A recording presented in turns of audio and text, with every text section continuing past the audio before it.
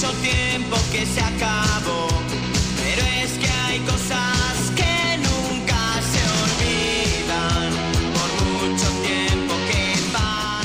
es la prueba irrefutable de que no está grabado lo de la advertencia. Eh, Totalmente, totalmente. La sí, igual- primera vez en 47 programas que igual es que os he traído hoy Resolí nuevo. Ahí está. Claro, ya va haciendo su Y efectillo. entonces, y eso que tú no lo has probado. Que ya, pero yo psicológicamente me veo Pues está muy, muy rico, ¿eh? Muy rico. Le he rebajado un poquito el azúcar, que el otro, el otro no salió muy dulzarrón. Mm. Está más licoroso.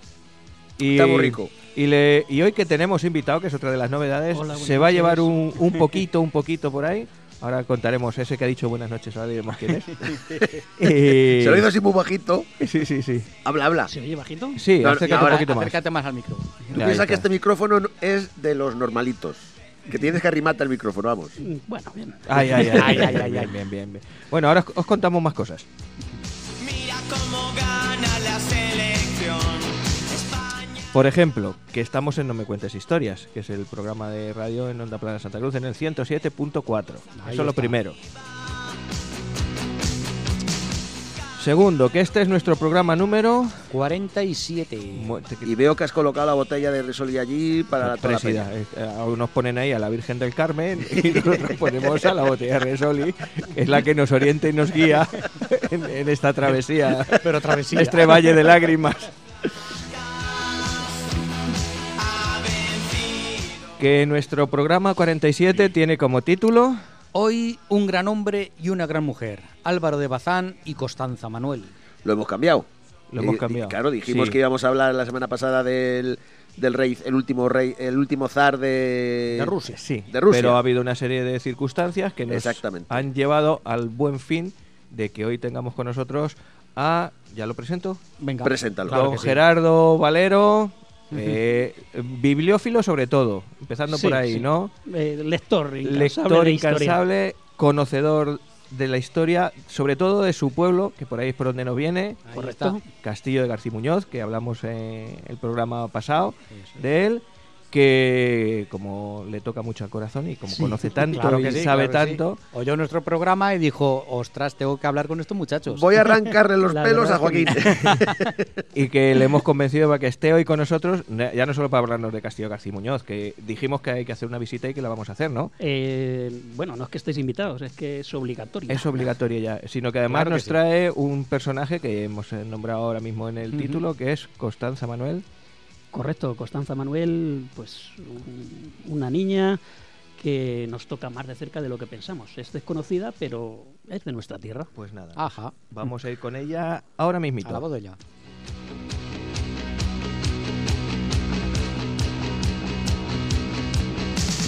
Hace mucho tiempo que se acabó, pero es que hay cosas que Bueno, y como hoy tomamos prestado el espacio de nuestro dire, que ¿vas a estar callado o vas a replicar? No sé si podrá. o- No sé si podrá. Yo estoy callado siempre. Siempre. Pero- Define siempre. De todas maneras, sí que podemos utilizar con tu permiso tu cabecera, ¿no? Sí. Porque al fin y al cabo, Constanza Manuel es una Ah, de la nuestras- sintonía, di la sintonía, lo de La- la cabeza. No quiero ser un intruso, no hay No, no, no, no. Al revés. Estás invitado y muy bien invitado. Está eh, también La por verdad- obligación todo lo que La ocurre- verdad es que con unos anfitriones así como vosotros eh, merece la pena. Muchas La gracias. visita al pueblo y todo ha sido un lujazo. ¿Cuánto le habéis pagado?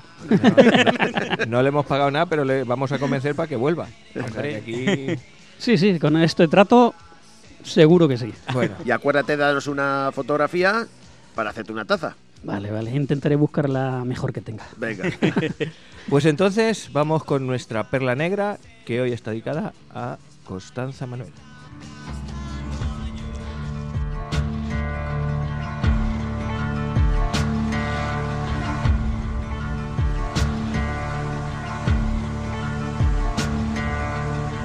There ain't no grave can hold my body down.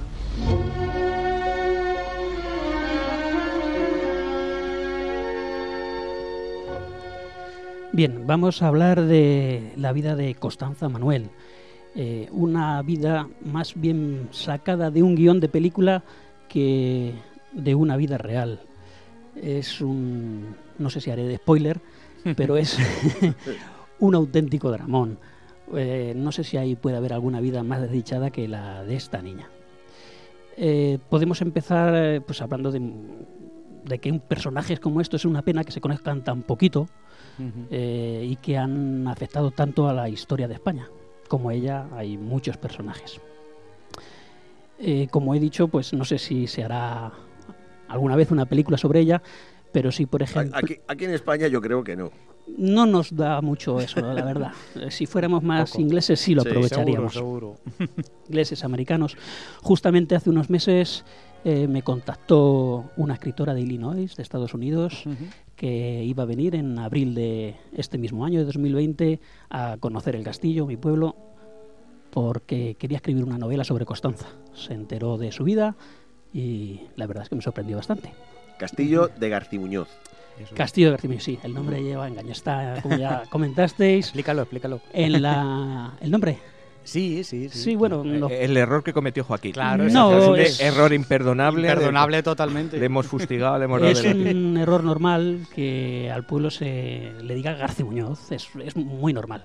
Se confunde el nombre Castillo con lo que es el edificio en sí. Es un error normal. Cuando la gente va ahí, pues estamos en García Muñoz. No, nos suena raro, nos chirría. Es, eh, aquí yo no sé si os pasaría lo mismo si os dijeran La Zarza. Sí, no, Claro, bueno, Aquí es Santa Cruz. es el pueblo, eh, Bueno, no- sí, Santa Cruz, sí. Sí. Pues para nosotros es el castillo. Bueno, en la comarca se conoce como el castillo, nuestros gentilicios castilleros, no somos garcimuñenses ni Ah, cosas claro. de esas. ¿verdad? Entonces de ahí es- O sea, se llama El Castillo. Anti- Es que no, se llama Castillo de García Muñoz. Eh, sí que es cierto que en documentos antiguos, en, en los mapas muy antiguos que vemos, siempre se trataba como el castillo a secas. Ajá. Incluso alguna vez don Juan Manuel le llegó a cambiar el nombre por el castillo de, do- de su hijo, de don Fernando. Anda, mira. Cambió el nombre del pueblo. Sí, pero fue testimonial. Ajá, duró Siempre. poco. Luego, si queréis, pues puede- puedo, podemos hablar de, de dónde vino el nombre en otro programa. pero- Sí, sí, Sí, sí. sí, Sí, sí, tranquilamente. porque está siendo interesante lo que nos estás contando. Sí. sí, sí. Bueno. Venga. En fin, si queréis vamos a empezar con Constanza. Vamos para empezar pues a centrarla en eh, su contexto Eso es. histórico, en su contexto político, ¿vale? ¿Me recuerdas a alguien? Por aquí el amigo que Aquí, siempre... El, Hago más o menos el lo que mismo. en el pelo, en el pelo sobre todo, ¿verdad?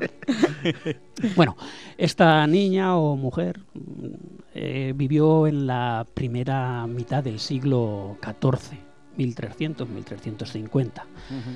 Por esta época, para que los oyentes se vayan centrando, pues se daban los reinados de Alfonso X y sus descendientes. Eh, Sancho IV, Fernando IV, Alfonso XI y Pedro I el Cruel, para que nos vayamos centrando. Bueno, los reinados de todos estos reyes fueron realmente muy convulsos. Eh, hubo muchas guerras, intrigas y asesinatos incluso entre padres, hijos y hermanos. Entre ellos mismos se mataban por ser rey de Castilla.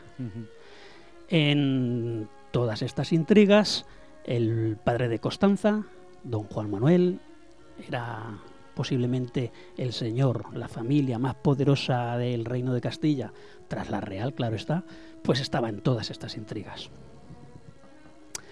Por otra historia que tal vez a lo mejor os guste también que la contemos, una historia caballeresca, eh, con tintes míticos, como la Excalibur, un- una espada parecida a la Excalibur inglesa, pero a la española. Eh, don Juan Manuel era de la creencia que, que él y anteriormente su padre debían haber sido los reyes de Castilla, en vez de Alfonso X y su descendencia, a la que consideraba que era una descendencia maldita. Estaban malditos esa familia. De ahí por los asesinatos, las guerras entre ellos, etc. ¿Vale? Eh, el objetivo de don Juan Manuel, él no sería tonto, sabía que no iba a ser rey posiblemente, pero sí su objetivo fue siempre eh, manejar el reino. Para, para ver, por ejemplo, el poder que tenía don Juan Manuel, simplemente nos bastaría con mirar sus matrimonios.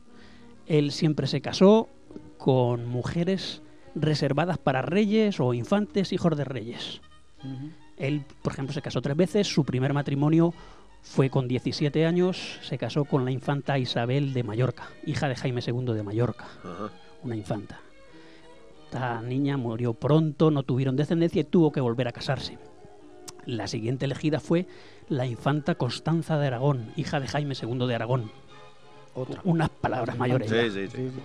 Va subiendo en el escalafón. Sí, iba subiendo. Todos sus matrimonios eran siempre superiores incluso a, a su linaje, Sí. ¿vale? Porque él, cabe recordar, a don Juan Manuel le llamaban, y le, siguen, le seguimos llamando, infante, erróneamente, infante don Juan Manuel. Porque en realidad no era infante. Eh, para ser infante hay que ser hijo de rey. Ah. Él no lo era. Él era nieto de, de rey, de Fernando III el Santo, pero su padre no fue rey. ¿vale? Pero bueno, se le conocía siempre como, Como el infante. como Como el infante infante.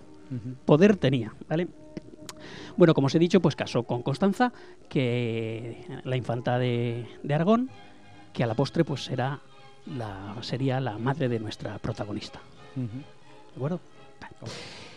Ya una vez en el contexto histórico, si os parece, vamos a localizarla territorialmente, porque antes he dicho que es nuestra, es cercana, es de aquí, de- nació y vivió en nuestra tierra, no es alguien que nos toque de lejos, ¿vale?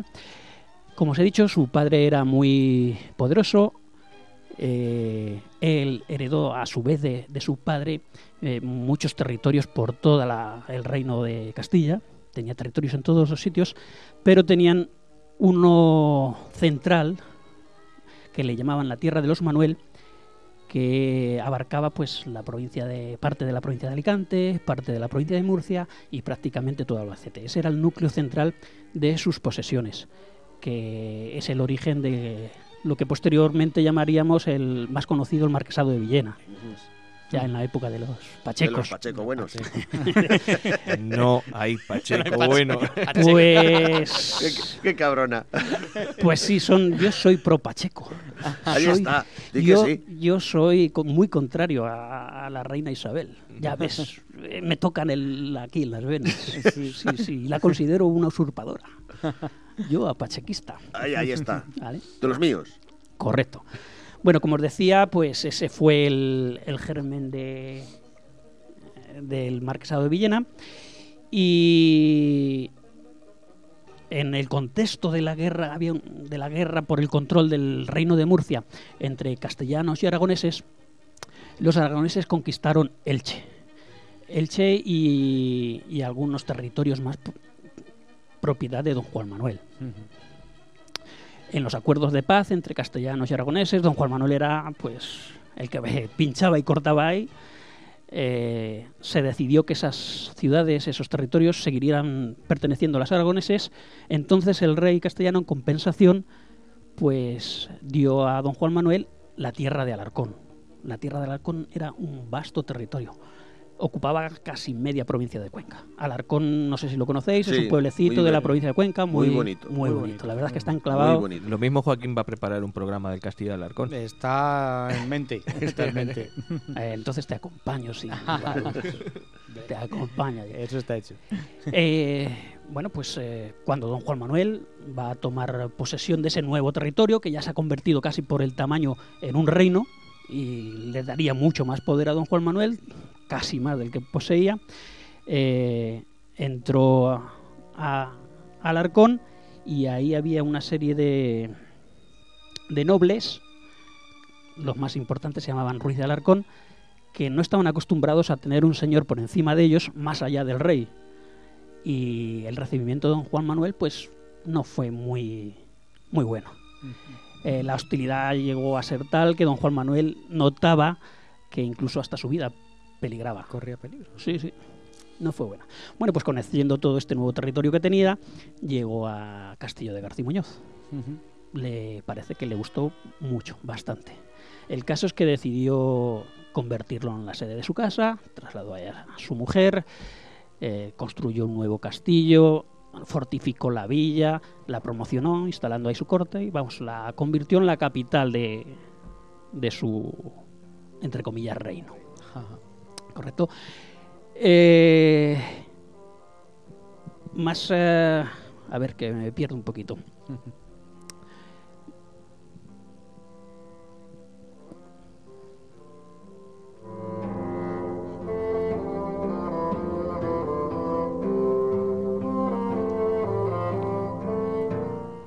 Recordar que estamos escuchando No me cuentes historias, del 107.4 FM, que Eh, hoy es un programa especial que tenemos a nuestro invitado Gerardo Valero, que nos está hablando de un personaje especialísimo que se llama Constanza, Constanza Manuel, Manuel. y que nos tiene intrigados. En Ascuas. Como, como os comentaba, pues eh, llegó a Castillo García Muñoz, hizo ahí lo suyo. No sé, entiendo que conocéis a don Juan Manuel. Él era un Mm. gran escritor. Eh, algún libro famoso, ¿no? ¿Conocéis de él? ¿Cómo? Eh, Eh, ay, Conde Lucanor. El conde, el conde, Conde Lucanor, es verdad. que me salían las coplas, me salía Jorge El Manrique. Jorge Calla, Manrique. Tienes cara de Sempronio. El Conde Lucanor, pero bueno, él tiene otros libros, otros muchos libros más, como el libro de los caballeros, el, el libro de los estados. Hay uno que se llama el libro de la caza, que describe un montón de parajes del castillo. Y sorprende pues la cantidad de agua, lagunas, lagos, ríos que, que había. Y ahora vas paseando por ahí El y cambio dices... climático, lo que ha hecho. El cambio climático. Dios. Y dice, pero este hombre estaba aquí, seguro, estaba en Brasil, esto no puede ser que esté aquí. Bueno, esto viene a colación a que hasta no hace mucho siempre se decía que se decantó por el castillo eh, porque él era un gran cazador y había mucha cantidad de caza ahí. Yo más bien es de- creo que es una opinión mía que él decidió tener la sede, su capital, su casa en, dentro de su núcleo de su territorio, del Ajá. núcleo de su territorio principal, eh, lo más cerca de la corte castellana. Y Villena se le quedaba un poco retirado. Sí, en la En- periferia. Entiendo que la primera opción de él sería Alarcón, pero visto la hostilidad que tenía allí hacia su persona, pues se Decidió por el castillo. por el castillo. Entiendo a lo mejor la caza también pudo, pudo tener algo que ver, pero vamos, no creo que por una caza se decida un... La capital de un territorio, ¿verdad? A mí me gusta siempre repetir ahí una frase que dice don Juan Manuel, bueno, que la- ahora la escribimos, que hablaba del de el mío castillo, mi castillo, donde guardo mis dineros, es donde él tenía ahí el dinerito. Bueno, pues ya localizado más o menos el contexto histórico como la localización, tenemos a don Juan Manuel y a su mujer Constanza, Constanza de la infanta Constanza de Aragón, en el castillo a principios del siglo XIV, pues nace nuestra protagonista. Estamos hablando de 1316. Es la primera hija de don Juan Manuel y la infanta Constanza de Aragón. El nombre que eligen para ella, Constanza. Constanza también, igual que su madre y que su abuela materna. En un principio entiendo que don Juan Manuel tal vez se sintiera un poquito disgustado con el nacimiento, porque siempre esperaban Un varón. Que bar- espera- fuera un varón para heredar su casa y su los linaje. territorios. O sea, que eso me pasó a mí también. Por Que yo, cuando el nació, mi- Imperio Ruchi. cuando mi na- nació mi Judith, nació mi Judith, que no se iba a llamar Judith. Coño, estaba, estaba yo ahí. ¿Le ibas a poner José Miguel? No, no, estaba yo, estaba. Mi padre y yo queríamos que fuera eh, muchacho. Y salió, cuando fuimos a la ecografía, dice que muchacha. Digo, "No jodas, muchacha. Míralo otra vez. Pues, pues se va a llamar Judith. Y, de- y se llama Judith. Claro. O sea, que tú esperabas Y la uno- quiero, y la quiero mucho. eh, el honor de los Ruchi. de los- se puso en entredicho. Como te oiga tu hija te deshereda. bueno, Cuéntanos. los primeros años de Constanza entiendo que serían los más felices de su vida. Eh, pues como cualquier otro niño, pues se dedicaría a Corretear jugar. A- por el castillo con sus amiguitos, haría sus trastadas, eh, etcétera. Pues como cualquier otro niño que tiene una familia, pues sin pasar penurias, que no tiene que trabajar, Ujú. eh, etcétera. Lo único malo es que la familia a la que pertenecía, pues se metía en la política. La felicidad, pues no le duró mucho. Cuatro años justo antes de nacer eh, Constanza, había muerto el rey Fernando IV y había entrado a reinar Alfonso XI, con un solo añito. La regencia de este rey eh, pues correspondió a su abuela, María de Molina, conjunto al padre de Constanza, don Juan Manuel. Estos dos parece que no se llevaban muy bien. Ahí había muchos tiras aflojas entre don Juan Manuel y María de Molina. Cuando pasaron 14 años que el rey llegó a la mayoría de edad, antes la mayoría de edad para gobernar eran los 14 años, don Juan Manuel, para no perder cuota de poder, pues decidió ofrecer en matrimonio a su hija Constanza con el rey. Y esto pues lo aceptó. Y, se- Y Constanza tenía nueve añitos. nueve añitos. El rey 14, ella 9. Aquí, pues, intento siempre hacer una imagina- imaginarme y a ver vosotros qué pensáis de cómo se lo comunicaría. ¿Cómo le comunicaría su padre a una niña de 9 años? Bien, es cierto que eh, a lo mejor, mm, viéndolo desde el siglo XXI, para nosotros no es una aberración, Eso es. eh, ¿qué le diría? ¿Se llevarían bien? ¿La sentaría en su regazo y le diría, Sí, lo, lo tendría asumido. Seguro que la habían educado un poco para eso. bueno, son No, nueve, nueve años? No, no la cogería mucho de susto. Tú Y lo estás viendo y- ahora... Y, depende también el padre como, no sé, había padres, ahora mismo, por ejemplo, nuestros hijos los tenemos, pues eso, estamos muy, muy unidos a, nuestros hijos, pero Mm. antes yo creo que, bueno, la madre tenía la función de parir, el rey de gobernar, y, Y- si no eras y varón, los pues, hijos de los reyes, de lo primero es el reino. O los hijos de los nobles, lo primero es el tu dominio. Si tú te tienes que casar con alguien de tu alcurnia para mantener Sí. nuestros dominios. Lo cierto es que sí que es verdad que posiblemente tuvieran muy asumido que lo que decide el padre es lo que va, a misa. Es lo que va a misa. Pero bueno, sea como fuera, pues eh, Constanza se tenía que casar, no había más. El padre entiendo que don Juan Manuel estaría exultante. Claro.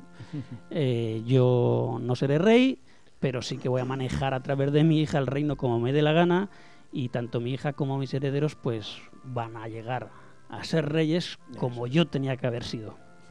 ¿Vale? Eh, como os he dicho, pues Constanza se tenía que casar y concretamente pues se tuvo, tuvo que partir, tuvo que dejar el castillo, tuvo que dejar a sus hermanitos, había tenido dos hermanos, un, se llamaba Beatriz y, y Manuel, tuvo dos hermanitos, pero los tuvo que dejar, tuvo que dejar a su madre porque en noviembre se casaba con el rey de Castilla y se fue a la corte. Concretamente el 28 de noviembre las cortes en Valladolid, reunidas en Valladolid, pues aprobaron el matrimonio, lo dieron por válido. ¿Cómo serían los días de Constanza de Reina? Pues es otro ejercicio de imaginación. Entiendo que serían de formación, de los de- de- de derechos, iba a decir, de los deberes y obligaciones como reina. Bien es cierto que a partir de, de entonces cualquier documento que le presentaban ella siempre lo firmaba como yo la reina. Pero igualmente pues yo me vuelvo al lado personal. Eh, ¿Cómo se sentiría? Estaba sola. No tenía sus hermanos para jugar. eh, no había nadie conocido. Su madre que la consolaría cuando tendría berrinches, pues no estaba tampoco.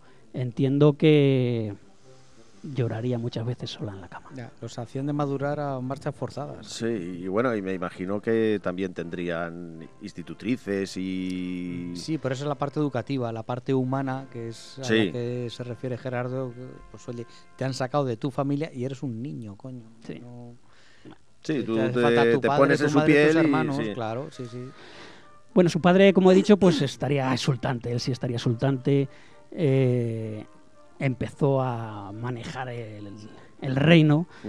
Eh, Por ejemplo, lo tenemos en, en la batalla, en la gran batalla que ganaron los cristianos de Guadalhorce, como caballero principal, el que más ejército puso en la batalla. Eh, emprendió junto a su mujer eh, la creación del monasterio de Agustinos de Castillo García Muñoz. Mm, No podría tener un- una catedral porque no podría tener obispo, pero sí iba a hacer un monasterio grandioso que además les iba a valer de mausoleo para la familia.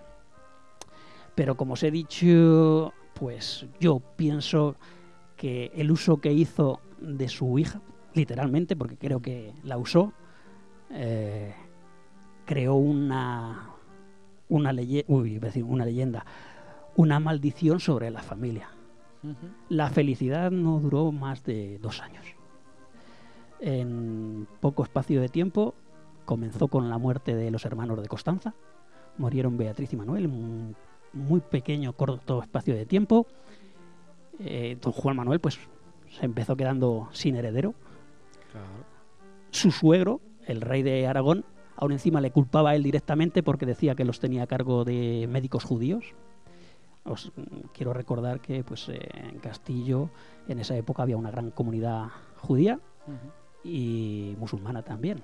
Y don Juan Manuel pues eh, los protegía. Eh, pero las desgracias no llegan solas.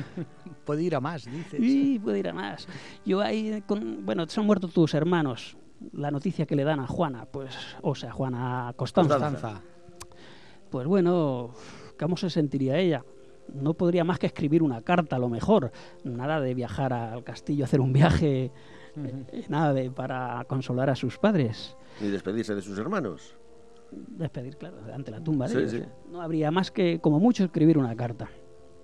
Pues bueno, como os he dicho, las fatalidades no vienen solas, la maldición parece que se había cebado con ellos, porque justamente a mediados de octubre de 1327 muere su madre. Ahí entiendo que la noticia para Constanza sí que sería un palo terrible. Y aquí igualmente pues hago un ejercicio de imaginación y me la imagino destrozada y yendo a pedir audiencia a su marido para Sí, poder hacer un viaje al castillo, a presentar los respetos ante la tumba de su madre y a consolar a su padre que se había quedado totalmente solo. Pero la respuesta del rey eh, sería lo último que esperará. Eh, sería algo así como, le diría algo así como, no, no podéis partir hacia el castillo. Además, he de comunicaros un asunto de vital importancia. He decidido anular nuestro matrimonio. Os repudio.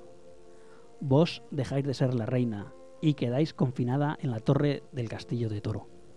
No le pego una patada Ala, así. en semejante parte. Claro, Es una chiquilla con 11 años. pero da igual. claro. Correcto. La niña tenía 11 años. Había pasado de ser una flamante reina a, a ser un- ¿Un estorbo? una prisionera, la- porque la Se ha metieron en el muerto mi familia y no Sí. me quiere ¿Pero nadie. ¿Y por qué repudió? Porque estaba Bueno. interesada el rey en alguien, ¿no?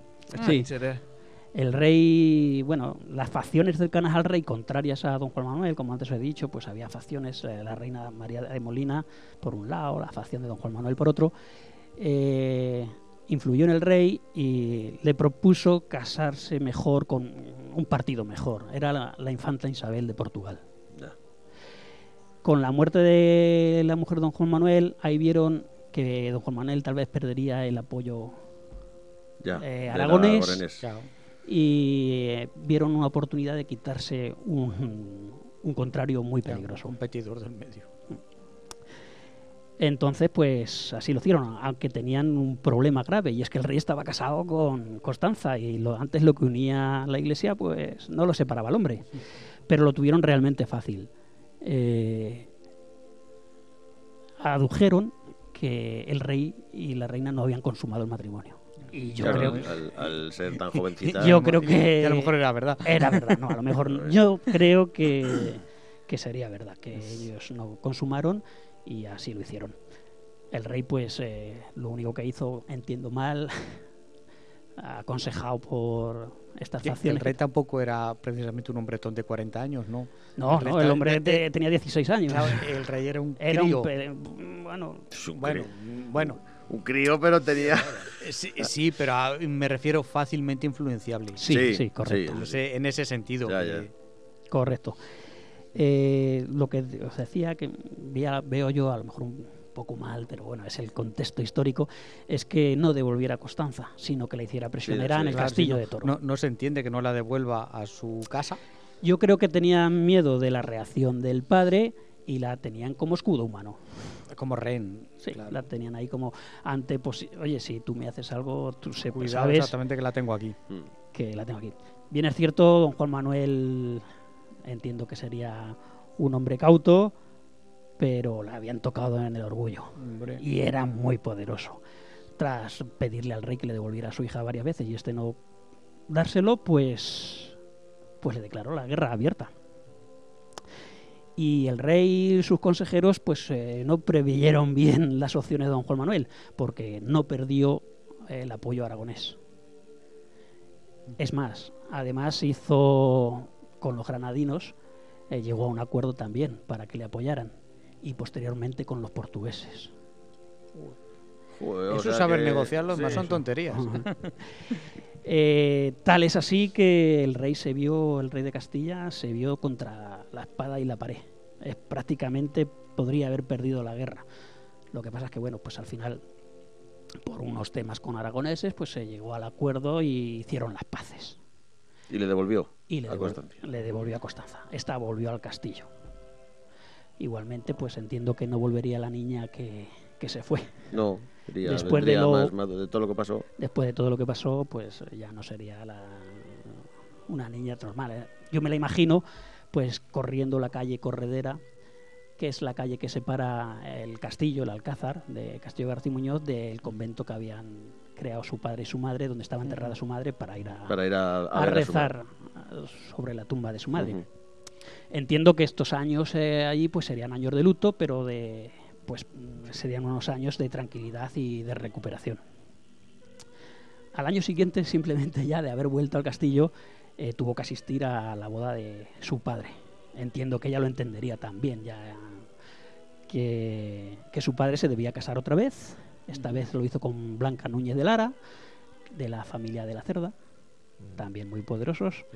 Descendientes de Alfonso X, por otra Correcto, parte. correcto. Y también de la maldición, de las guerras entre ellos, correcto. Y se tenía que casar porque tenía que buscar un heredero para la familia. Pues entiendo que Constanza lo entendería, pero igualmente para ella sería un elemento externo nuevo ahí en la, en la familia. ¿Cómo se llevaría con su madrastra? Eh, Bueno, pues eh, imaginación. Bueno, para Constanza entiendo que a lo mejor eh, tal vez eh, pensaría que esta sería ya para siempre su vida. Tranquilidad en el castillo, incluso porque voy a meterme a monja, yo qué sé, no sé. Pero para su padre no. Su padre estaba centrado en su idea de, que- de reinar, de su familia real. Así que no paró hasta que unió a su hija con la corona de Portugal. Le acordó una boda con el príncipe heredero de Portugal. Apuntaba Pedro. alto el señor, ¿eh? Con Pedro I. Sí. Ahí se ve el poder de don Juan Manuel. Ojito para que una casa real acceda a que su príncipe heredero se case con una mujer que no es hija de rey, que no es infanta, Desde otro Divo- país, exacto, y divorciada divorciada, de un rey. repudiada. repudiada sí, repudiada. El término divorcio no existiendo Sí, de repudiada repudiada por su rey. por otro rey. noble. Y aún encima mayor que el príncipe, era, ma- era mayor que el príncipe. A lo mejor me lo pones. ¿Qué le daría? No, yo no sé qué ofrecería don Juan Manuel a los portugueses. Sí, sí, sí. Entiendo que sería atacar Castilla, no cabe duda. Claro está, ante esto el rey de Castilla, Alfonso XI, pues eh, no lo puede permitir. Él Se- veía, Se sentó bien, seguro. veía todas sus fronteras atacadas por todos los lados, por el este aragoneses, por el sureste el propio don Juan Manuel, por el sur los granadinos, por el oeste los portugueses. No, no creo que le sentara muy bien. Tal es el caso que decidió eh, llevar sus ejércitos ante Castillo García Muñoz y allí pues sitió a padre e hija para no dejarles ir a Portugal a celebrar la boda. Así estuvieron varios años. Lo que- Sitiados. Sí, ahí sin salir del castillo, supuestamente. Bueno, yo no os lo sé. pues, ¿Cómo lo harían? Eh, entiendo que solo se centrarían en ellos. Porque sí que es cierto que en un descuido o algo, unos emisarios portugueses llegaron a Castillo García Muñoz con poderes del príncipe para celebrar la boda allí mismo de Constanza por poderes con el príncipe de Portugal. La boda se celebró en Castillo de García Muñoz. Eh, igualmente, eh, Constanza ya tendría 16 años o así, te- tendría. 1900 1331. por ahí, por eso. 1331, 16, justo. 16 años. Pues me imagino a Constanza frente al altar de la iglesia de San Juan, de la mano de un señor casándose que no iba a ser su marido. Esta señora, ¿qué pensaría? Qué triste, una boda así, ¿no? No lo sé si antes se preocupaban por estos asuntos, pero ahora sería para suicidarse, vamos. Muy triste. Eh, estando allí sitiados, el rey, aunque se casaron, no les dejó irse, pues eh, conoció a su hermano, su padre con su nueva madre, tuvo un hijo varón, Fernando, por lo menos era algo, una noticia buena Sí. dentro de la familia. Chiquitito, siempre. Sí. Y, y también posteriormente, antes de irse, bueno, eh, antes tengo que contar que, que en 1936 el rey de Castilla derrota a don Juan Manuel y a los portugueses en Barcarrota, un pueblecito de Badajoz. Les aflige una, les infringe una derrota muy severa. Don Juan Manuel ya había perdido también el favor de, de los aragoneses. Entonces, esta derrota pues sentó las bases para que se reconciliaran. Don Juan Manuel al final tuvo que jurarle fidelidad y llegaron, se, a- a- llegaron a un acuerdo amistoso. Como la boda ya se había celebrado, pues eh, el rey dejó que Constanza fuera a Portugal. Portugal. Ah, ya no, la boda estaba celebrada, no podía hacer El nada. daño estaba hecho. Exactamente, don Juan Manuel ya parecía que no iba a, a darle, a hacerle ningún daño, pues eh, permitió que se fueran a Portugal. Justamente antes de ir a Portugal, conoció, llegó al mundo su otra hermana, otra hermanita más, que se llamaba Juana. Esta niña también tiene otra historia detrás, porque ella también llegó a ser reina de Castilla. Don Juan Manuel, la verdad, Qué colo- ojo.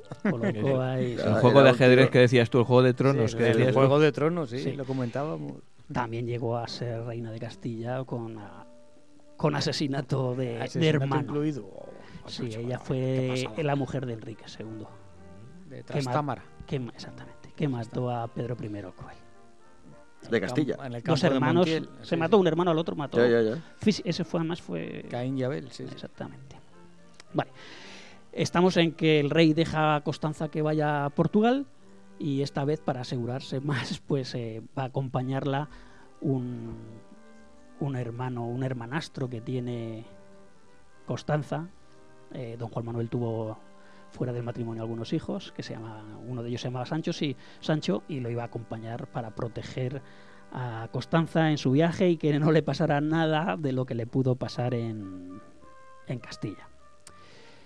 La entrada a Portugal pues la hicieron por el camino normal del centro de la península.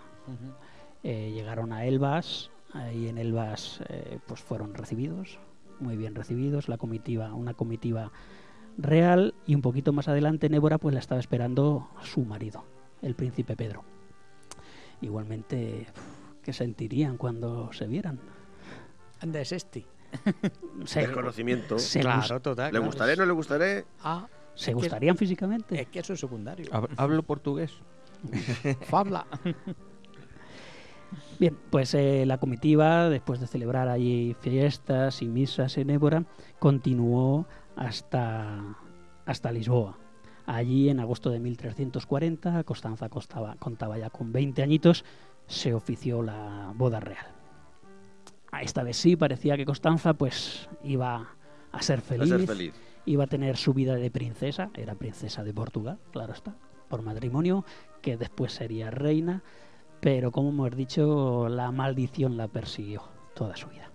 Con ella eh, llevó una dama de compañía eh, que se llamaba Inés de Castro, Hmm. de origen gallego, también una familia importante, y entiendo que sería más agraciada que Constanza. El caso es que el príncipe... O no. El amor, el amor te... Amor El es ciego, ciego. el ciego. ciego. Cupido va con una, Claro. esta, una venda. Bueno, sea como fuera, el príncipe se prendó de ella. Y ya, un príncipe con 16 años, pues los 17 pues haría lo que, lo que le parecía. El caso es que yo entiendo que si por él Vamos, hubiera tenía, sido... tenía lo fijo y lo que podía conquistar. con- conquistar. Correcto, esa, eh, eso es eh, la descripción correcta, porque Constanza eh, tuvo que seguir en su papel Sí, sí. de lo que le iba a tocar, De ser reina. madre de, Bueno, madre. A parir. madre de los hijos el de- del rey, bueno, en este caso del príncipe. Correcto, es lo que le tocaba, era lo que le habían inculcado y para lo que estaba preparada, no cabe duda. Pues a- así fue. Eh, Entiendo que se sentiría, el príncipe no ocultaba que eh, estaba enamorado de Inés. Entiendo que se sentiría del todo frustrada.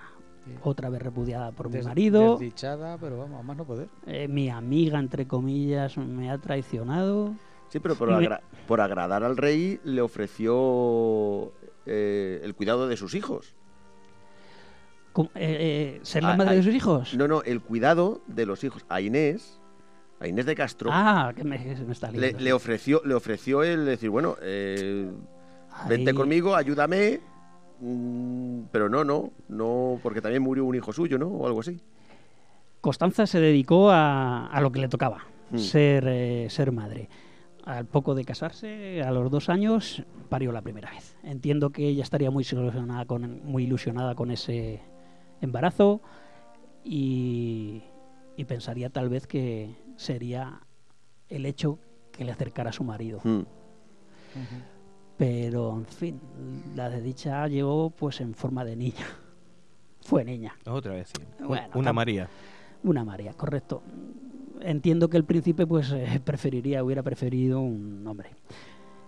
El caso, pues eh, nada, todo siguió igual. Eh, Constanza en su papel de madre y el príncipe en su continua fiesta con Inés. Y a Portugal.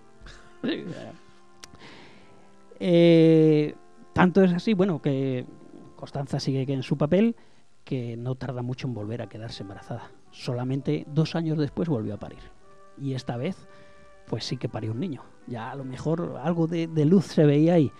El niño se llamó Luis, pero como seguimos con la maldición, murió a los ocho días de Ocho nacer. días.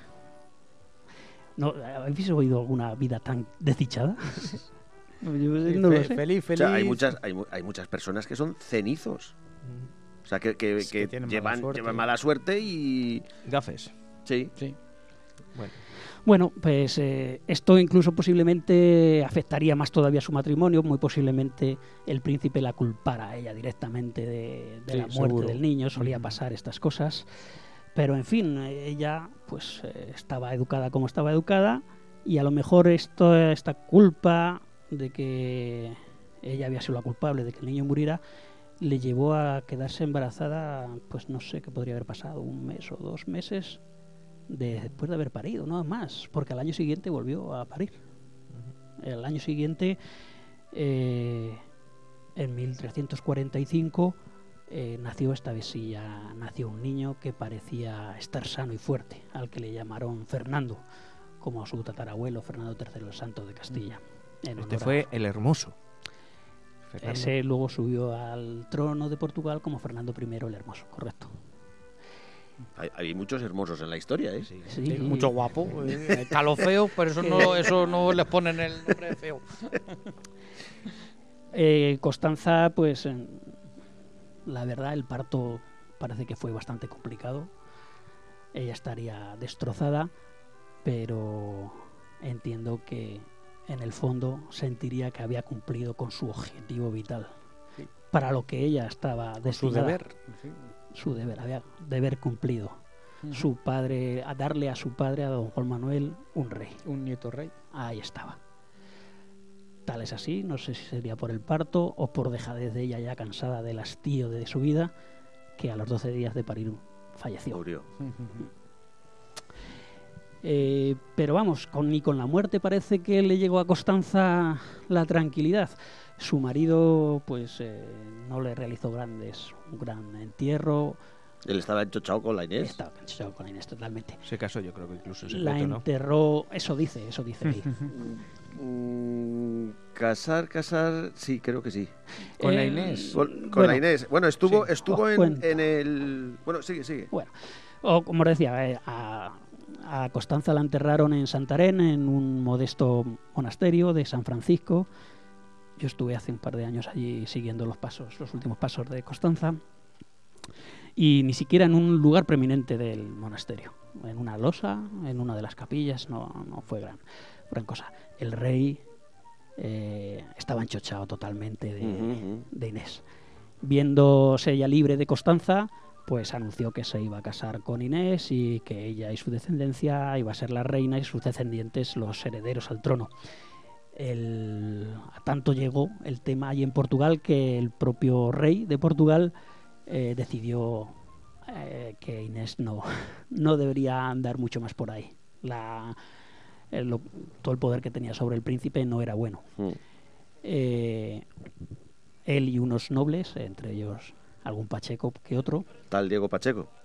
pues decidieron acabar con, Hay la, buenos y malos. con la vida de Inés. Con la vida de Inés, ¿verdad? No conozco En Portugal, esta historia de Pedro e Inés la tratan como una historia de amor imposible y la venden mucho en Coimbra, en Alcobasa. Coimbra, sí. Se, se- se vende mucho esta historia. Para mí, como soy muy pro Costanza, Quinta, quinta, Pues, eh, Quinta das Lágrimas, creo que es donde estaba. la Quinta de las Lágrimas hay un de la- estaba allí, estaba allí Inés Correcto. y dicen que hay una fuente eh, y dicen que las, las piedras que son rojas, que es Ahí es donde la la, la sangre, la la, sangre de Pero acuérdate que en la- una de las leyendas que leímos de Castilla-La Mancha, la leyenda que también mataba al moro a la cristiana en el borde del río, también las piedras se volvían en, en la leyenda de piedra Ah, sí, bermeja. sí, sí, sí, es verdad. También se quedaba la piedra roja, es un, un tema recurrente. Sí.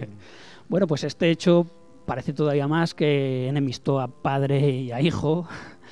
Y, en fin, cuando luego el hijo, según cuenta, ya esto ya es leyenda, según cuenta la leyenda, cuando el hijo llegó a ser rey, sacó de la Mm. tumba a Inés, la sentó en el trono y a los nobles les obligó a jurarla como reina, Sí, besándole en la mano, Sí, A la momia. sí. eh, diciendo, aduciendo que se había casado en secreto con ella. sí.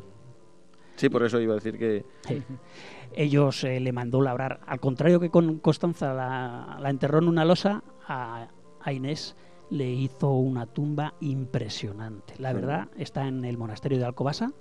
Es una tumba, las dos tumbas de reyes más impresionantes que he visto en mi vida. está uno enfrente de otro, ¿no? Han estado, según cuentan, pues han estado en varios sitios del monasterio. Ahora están justamente muy lejos. Ahora están muy lejos. bueno, Ajo y agua. eh, los, ajo y agua. Esos gestos no se ven por la radio.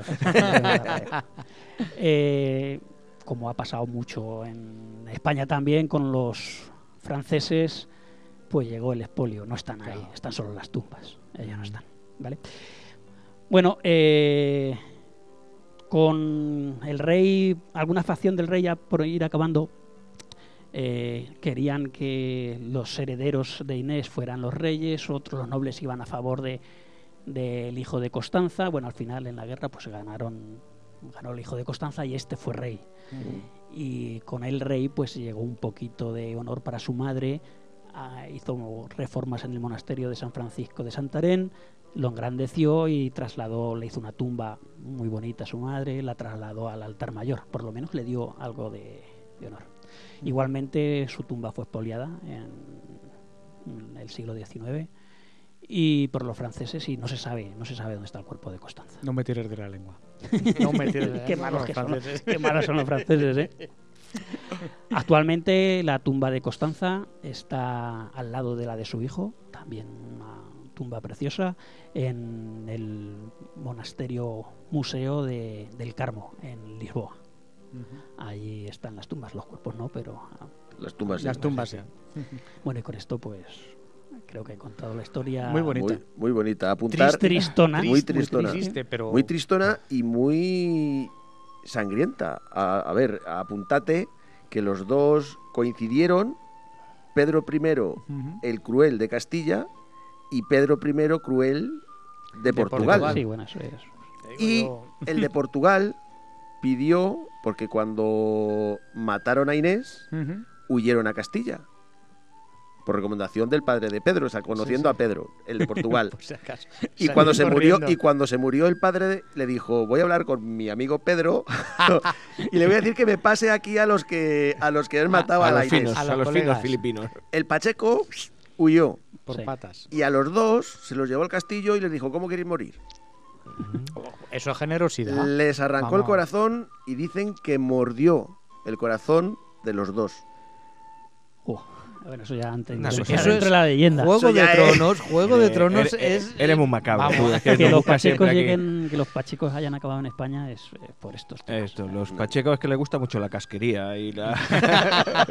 Posteriormente, unos cuantos años, 100 años después, eh, fueron los que partieron el bacalao en Castilla. Y aquí, aquí estamos ahora con la radio. Pues Gerardo, eh, primero, enhorabuena. No sé la qué tal ha salido. Ha salido Estupendo. perfecto, nos has hecho el programa. Ya con esto podemos despedir hoy. Ha sido largo. Porque vamos, no, vamos eh, dentro de lo normal, 50 minutos, ahora nos aceleramos un poquito. Ahora en cinco minutos este y yo lo apañamos. Y, y ya está, no, lo, pues lo que pasa es que Nah, la, historia merece la pena Sí, y claro que es sí. una persona, es un personaje que es poco Eso es. conocido Sí. y al que da- poquito, hay que darle Sí, sí, sí. hay que darle historia. Esta ha sido nuestra perla negra de hoy.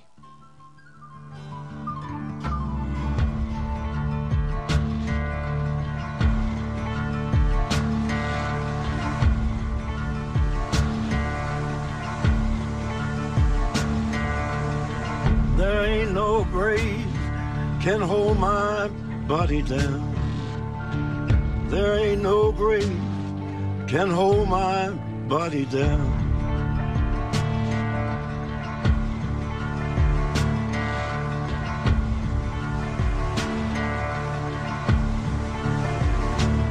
When I hear that trumpet sound, I'm gonna rise right out of the ground.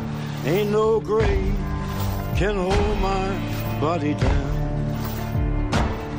Well, look way down the river. Bueno, no sé si al principio del programa hemos dicho de que íbamos a hablar tú y yo, Joaquín. Secundario, yo de fútbol. No, Yo es que no sé si de albañilería. Bricolaje, algo, algo.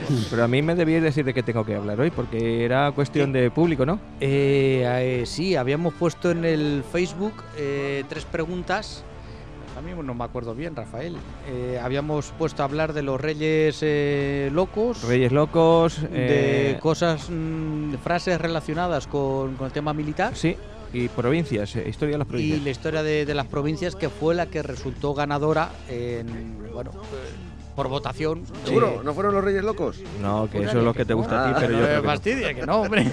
salieron por mayoría absoluta, salieron los Pues nada, pues os hablo. las cosas de las provincias. la Espera que me lo, me lo busco. Historia de las provincias entonces. Ataca.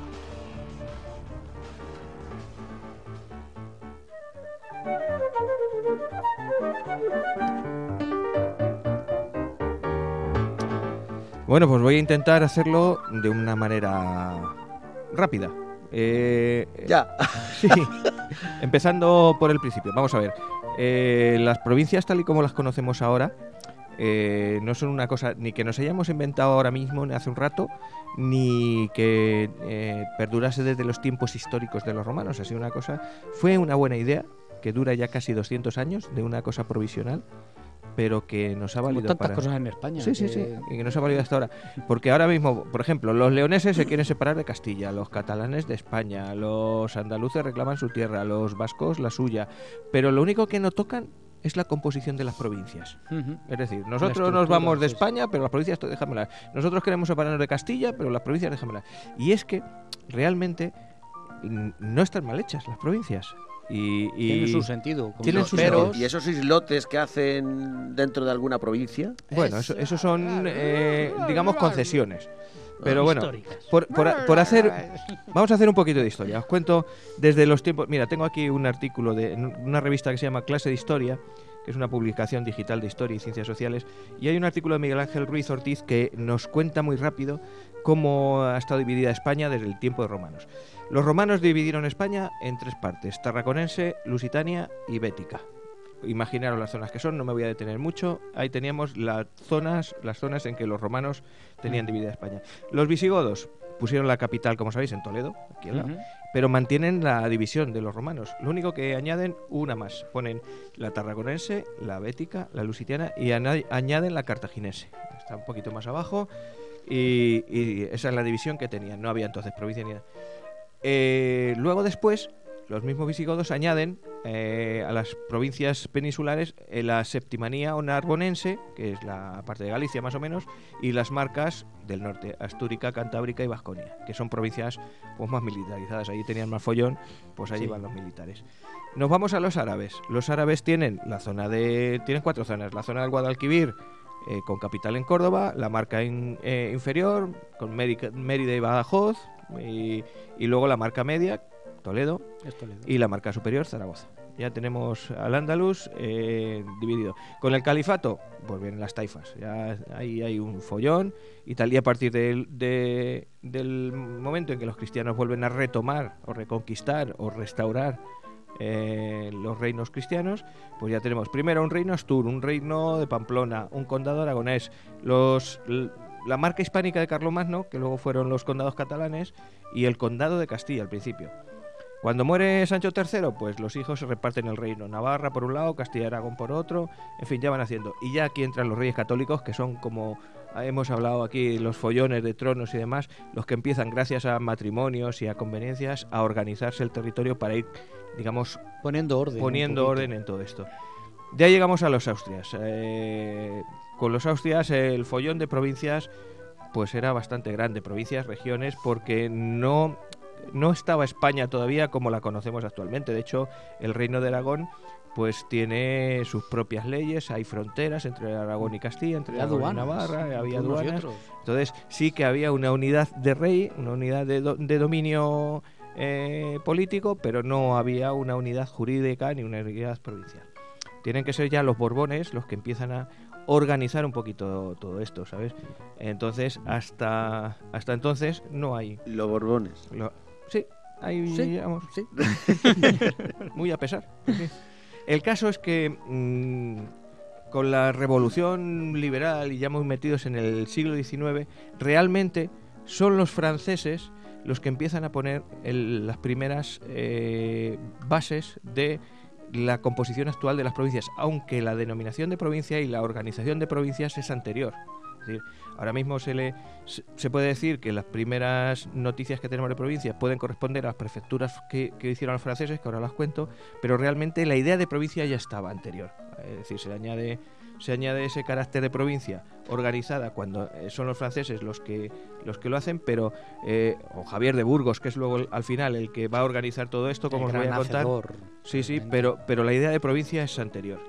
Entonces, aquí sí que me voy a ir a un artículo que se llama Cómo se dibujaron las provincias en España. Los Mm. cartógrafos del siglo XIX son insuperables. Y aquí sí que nos explica muy bien este artículo cómo se dibujan las líneas del mapa político del país. Y es que pasa una cosa, eh, como eh, cuando uno hace una cosa en su casa, pues siempre se deja influenciar por su mujer, por su hijo, por su suegra, por su... Pues tenía que venir alguien de fuera, a España, para decir, mira, ni, yo como no tengo aquí ni mujer, ni suegra, ni hijo, ni tal, pues lo voy a hacer como me me- me dé la gana. Entonces, durante la dominación francesa fue cuando se concibió la idea de que las provincias tienen que ser un poco tal y como las tenemos ahora. Eh, hay un, fíjate, tiene un- su parte de matemáticas. Hay un matemático ruso que se llama Georgi Voronoi que dibujó un diagrama de tal manera que eh, imaginaros que tenemos en cualquier superficie unos puntos concretos. Imaginaros ahora mismo que tenemos las capitales de provincia en España, Segovia, Soria, Madrid, Barcelona, y que entre esas capitales empezamos a dividir, a trazar líneas de tal manera que haya la misma distancia entre una capital y otra. Se crean unos polígonos, que son los polígonos de Voronoi, la división de Voronoi, y esos polígonos dividen España por una forma como esta que estáis viendo, que luego la pondremos en el YouTube, de tal manera que prácticamente ya está casi, se parece muchísimo esta división en polígonos de Voronoi a la actual configuración de las provincias. Esto, Diego, Mucho, mucho. se mucho, parece, mucho, sí. mucho, sí, sí, sí. Sí, Esta idea matices, pero sí. Fue la que cogió eh, a quien se le encarga- encargó por parte de los franceses eh, la composición de provincias en España, que no fue ni más ni menos que José Lanz. José Lanz era un ingeniero nacido en, en México, entonces todavía Nueva España, ¿eh? Pero que estaba nacionalizado francés. Entonces le dijeron, bueno, pues tú más o menos que entiendes esto, que no- y como no tenía mucho que ver con España, a ver cómo me divides esto para organizarlo. Eh, organizas esto en departamentos, como tienen los franceses. Y luego lo llamaron pre- prefecturas. Y estas prefecturas napoleónicas, pues ya se empiezan a parecer mucho a lo que tenemos actualmente. Porque había una división, sí, de, con, con polígonos de Voronoi, pero simplemente utilizando además los eh, ríos que pasaban cerca eh, de una u otra provincia mm, por las líneas divisorias, pues se aprovechan para dividir también una provincia y otra. Nosotros lo tenemos muy claro. Aquí los que nos parte eh, Madrid y Toledo, por ejemplo, es el río Tajo. Aunque luego está mal hecho. Es verdad que los madrileños nos quitaron unos metros y el Sí. castillo de Alboer y demás, que tenía que ser nuestro, está metido en Madrid. Pero es el Tajo realmente el que ejerce de frontera. Igual que, por ejemplo, el Zújar, que es una afluente del Guadiana, pues divide o dividía entonces las provincias de entonces Mérida, la provincia de Mérida de la provincia de Córdoba. Eh, entonces, ese primer boceto, esa primera, primera forma de dividir las provincias de, de José Lanz, la aprovecha luego el que es el verdadero creador de las provincias en España, que es Javier de Burgos. Javier de Burgos en 1833 les, le dan el encargo de hacer provincias y el ánimo de, de- de Javier de Burgos es centralizar. Es decir, bueno, que todo esto organizado alrededor, primero, del centro de la capital, de Madrid, y luego además que esté organizado alrededor de cada capital de provincia. Y entonces, ¿qué mejor que dividir el espacio en provincias en las que los territorios estén lo más cerca posible de esa capital? Es decir, volviendo a lo mismo, dividirlo en los polígonos de Voronoi. Es decir, que un espacio La idea es la misma. Ah, final. exactamente, dibuja las provincias casi, casi, casi al dedillo de cómo están ahora, por simplemente por cercanía a la capital. ¿Qué pasa? Que Javier de Burgos añade tres provincias que ahora no existen: Calatayud, Játiva y El Bierzo, porque había considerado que también podían ser capitales de provincia precisamente esas localidades. En el decreto de Cortés, donde se pone el plan provisional, eh, cifran entonces que en España hay unos 11 millones de personas y, claro, aquella España era muy distinta a la que conocemos ahora. Por ejemplo, Madrid, la provincia, tenía 200.000 habitantes. Ahora estamos ca- casi igual que ahora, ¿no? Eh, no estaba además incluso entre las más pobladas. Estaba entre Zaragoza, Oviedo, Barcelona, Córdoba, Coruña, Granada. En fin, que había un, un montón de sitios mucho más grandes que Madrid. Pero que con esta distribución que plantea, que plantea mm, Burgos, pues se ahorraban, según él, 1.046.100 reales respecto al modelo anterior, en el que, por ejemplo, nosotros, que ya aparecemos como provincia de Toledo, estábamos anteriormente en provincia de La Mancha. Que os sonará también, siempre Mancha, hemos sí, dicho sí, provincia de La. Mancha, una provincia extensísima, pero que no era eficaz administrativamente, porque había lugares que estaban muy lejos de la capital, si fuese Toledo.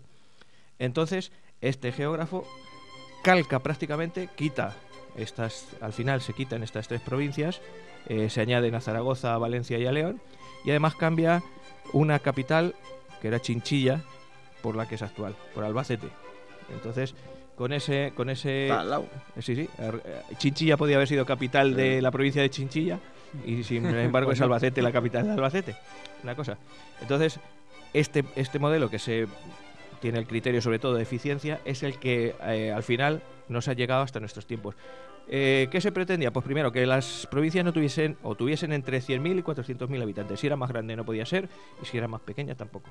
Más o menos esa distribución se ha mantenido. Y fijaros lo que son las líneas de comunicación que teníamos entonces, en caballos, diligencias y demás, pues que no estuviesen a más de una jornada de un día a caballo de la capital. Gracias a eso, pues aunque ahora ya tenemos autovías y esas cosas, pero la- las distancias son más rápidas, pero conviene que, que- que- se corresponda con su capital la localidad que esté más cercana a esa capital.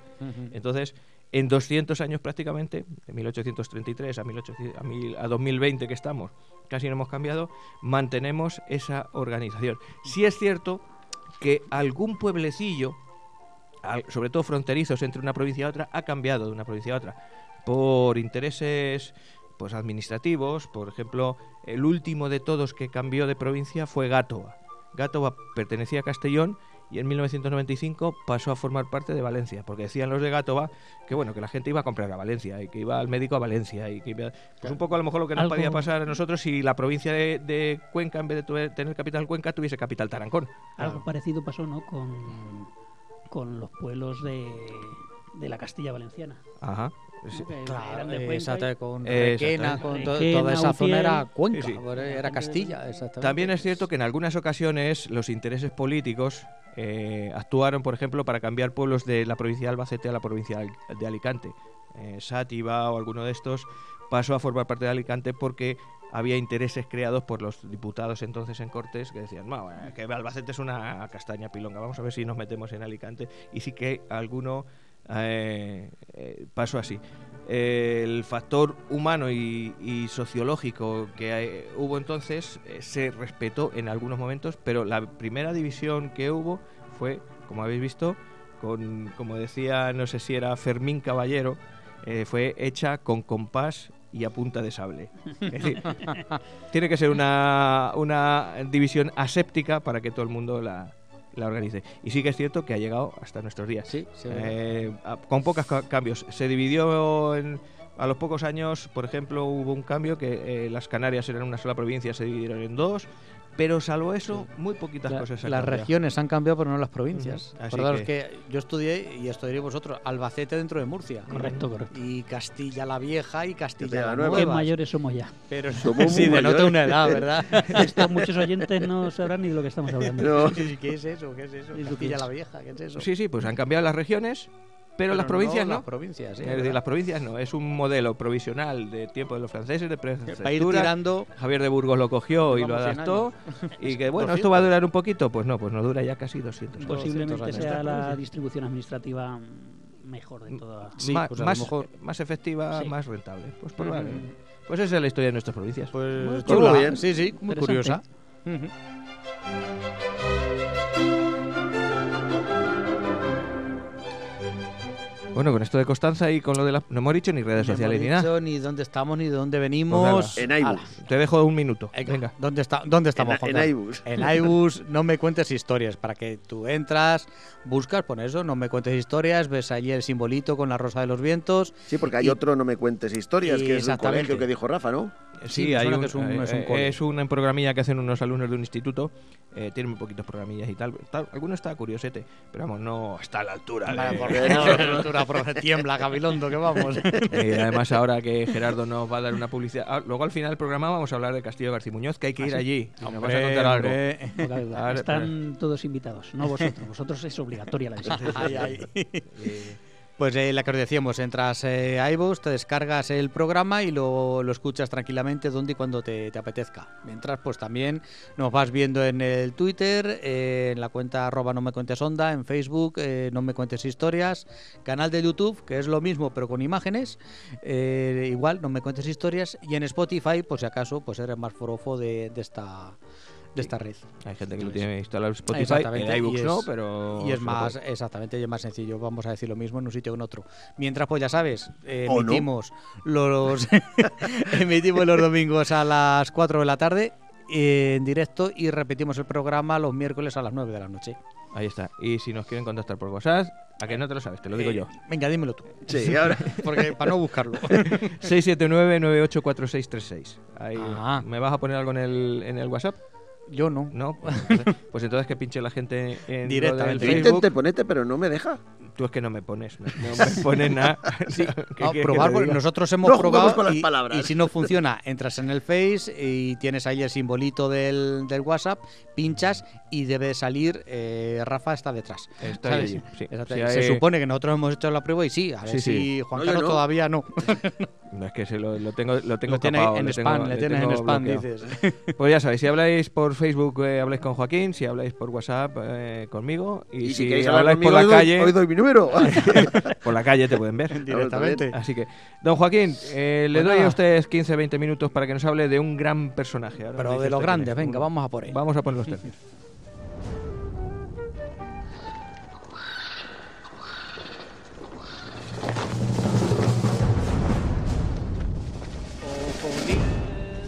picas a caballos, enfrentando arcabuces a piqueros, con el alma unida por el mismo clero que la sangre corra protegiendo el reino. Aspa de El 12 de diciembre de 1526, en Granada, eh, nacía uno de los grandes de este país, Álvaro de, de Bazán y Guzmán, marqués de Santa Cruz, señor de las villas del Viso y Valdepeñas, comendador mayor de León y de Villamayor, Alhambra y La Solana en la Orden de Santiago, miembro del Consejo de Su Majestad Felipe II, capitán general de la Mar Océana y de la gente de guerra del Reino de Portugal. Don Álvaro de Bazán, el invicto, el mejor almirante que hayan dado las Españas eh, a lo largo de todos los siglos. Nunca, nunca, nunca fue derrotado. Hay muy pocos en el mundo que puedan, que puedan llegar a decir esto. Querido eh, como nadie por sus soldados, lo dijo nuestro Miguel de Cervantes, querido como un auténtico padre, le seguían fielmente con los ojos cerrados porque sabían que los llevaba a la victoria. Un hombre muy prudente y un genio de la, de la guerra, literalmente.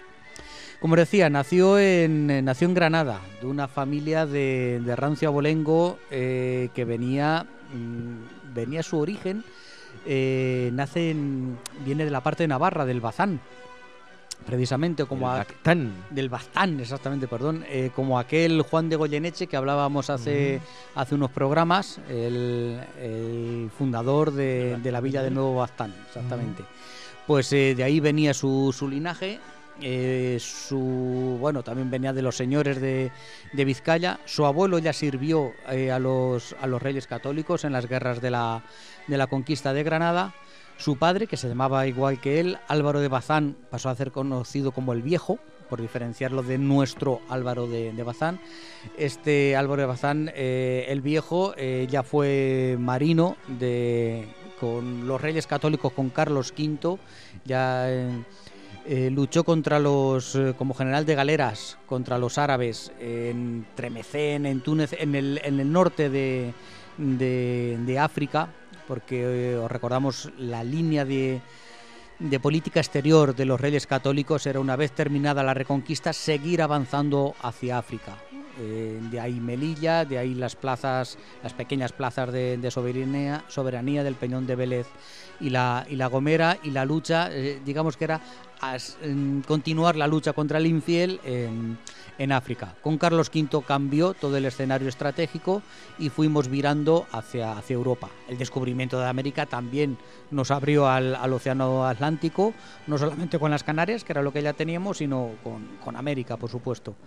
Pues en, este mundo militar, de, de recambre militar, eh, se desarrolló Álvaro de Bazán, al que su padre le orientó muy, muy, muy pronto, tan pronto como a los que a los tres años solicitó a Carlos V el hábito de la Orden de Santiago para su hijo.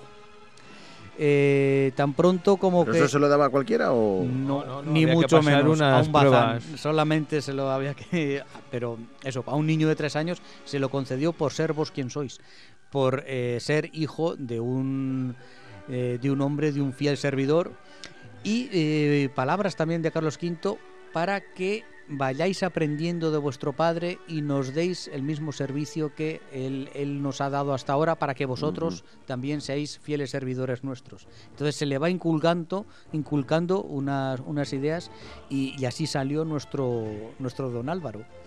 Eh, eso, con ocho añitos eh, fue nombrado alcaide de Gibraltar, del castillo de, de Gibraltar. A ver, que no es la base militar que tienen ahora los británicos, pero bueno, era un castillico.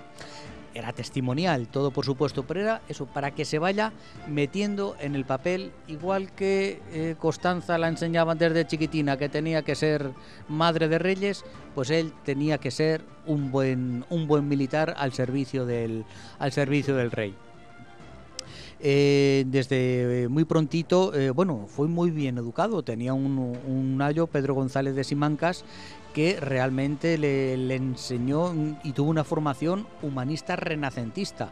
No pensemos que era un bruto máquina de la guerra. No, este, este hombre sabía idiomas, sabía latín, tenía una cultura clásica, era un hombre de su tiempo, un hombre del renacimiento. No había por qué ser un bárbaro que solamente sabía cortar cabezas, ni muchísimo menos. Era gente con una formación y con una inteligencia eh, puesta a prueba, vamos, eh, muy cultivada. Enseguida, con 17 años, su padre se lo lleva al norte, al norte. Él estaba habituado eh, a los al Mediterráneo, que es donde se desarrollaba, como os he dicho, la, la guerra con, contra los moros en, en el mar para avanzar hacia África, pero su padre ya le lleva al norte para que conozca, para que vaya conociendo el mar Cantábrico y los distintos tipos de buques que allí se desarrollaban. Porque allí teníamos a otro, otros amigos que vamos a tener durante muchos años, los franceses.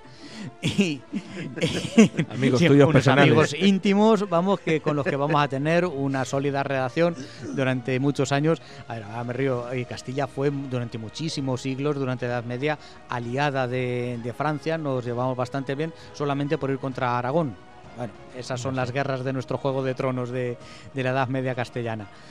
Eh, en esta época empieza eso nuestro Álvaro de Bazán a, a conocer el mundillo de- del mar en el Cantábrico, la misma época de que nuestro comendador Pedro Menéndez de Avilés, eh, eso, que nació allí en Avilés y se crió y, y ya tenía un barco corsario, pues por esa época eh, mm, don Álvaro de Bazán, el viejo, el padre, y ya con la participación de su hijo, infligió una derrota soberana a los corsarios franceses en, eh, en una bahía, eh, hay una ría, en la ría de Muros, allí en, allí en Galicia. Se dice que murieron hasta 3.000 franceses. Coño. Los corsarios, sí, un día hablaremos de las diferencias entre corsarios, piratas Sí. y ma- armada normal, que en aquel momento estaba naciendo.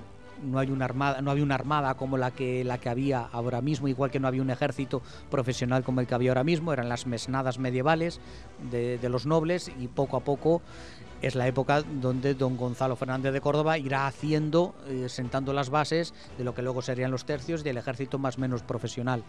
Pues don Álvaro de Bazán iría haciendo esa base de esa armada, que entonces pues se juntaban galeras de distintos grupos de galeras de distintos nobles más habituados al, mar y no, y no a la guerra en, en tierra.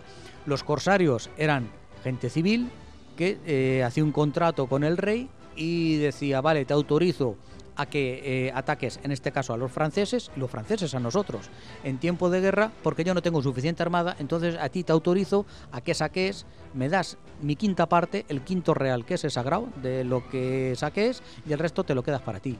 Era un negocio, pero un negocio regulado.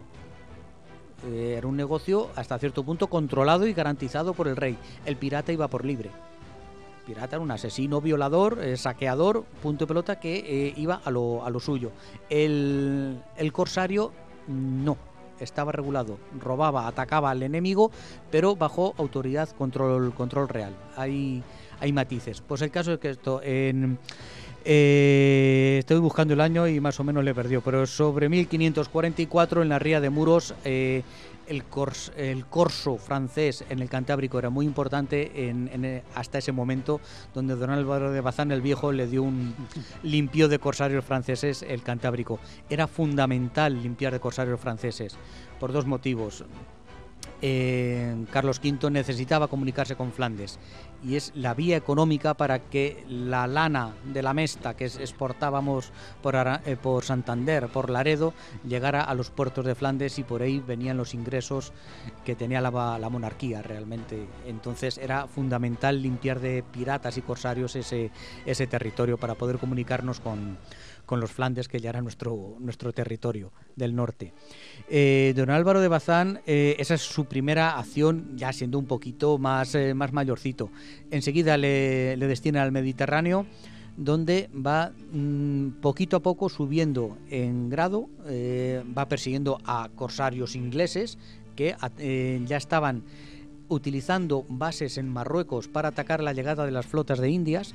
Entonces era fundamental tener una buena flota en los alrededores del Mediterráneo, eh, del Gibraltar, del estrecho de Gibraltar, para que las, las flotas de Indias que llegaban desde América pudiesen llegar a Sanlúcar de Barrameda, a Sevilla, en condiciones y no nos las asaltaran los, los piratas. Don Álvaro de Bazán, en una labor sorda, sin grandes batallas, pero limpió de piratas ingleses ese, ese territorio.